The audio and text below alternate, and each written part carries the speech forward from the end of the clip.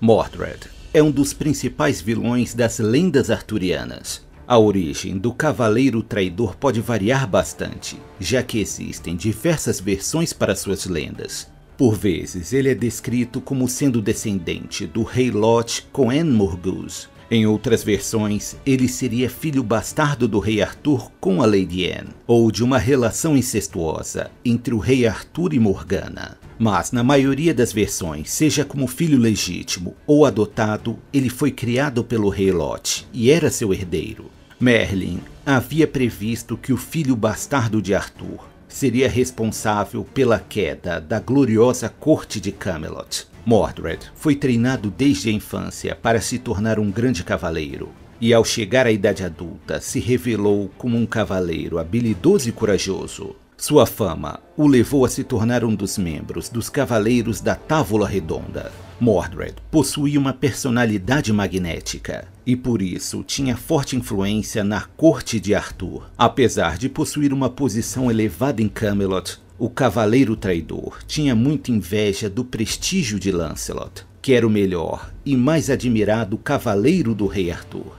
Mordred descobriu o relacionamento adúltero entre o cavaleiro Lancelot e a rainha Guinevere, esposa do rei Arthur. O cavaleiro ardiloso tramou um plano para desmascarar o casal e se livrar de seu rival. Após ter seu romance revelado, Lancelot teve que fugir para suas terras na França para escapar da fúria do rei Arthur.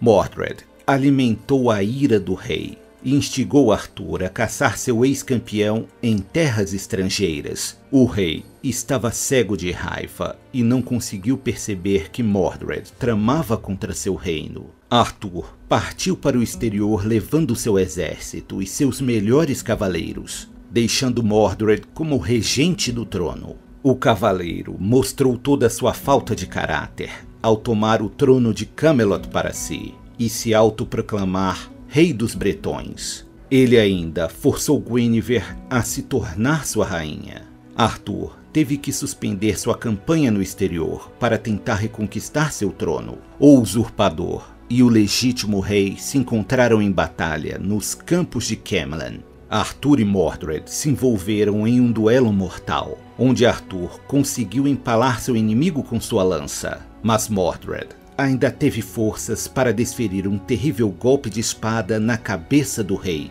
Os dois bravos cavaleiros acabaram mortos, e o nome de Mordred se tornou sinônimo de traição e deslealdade.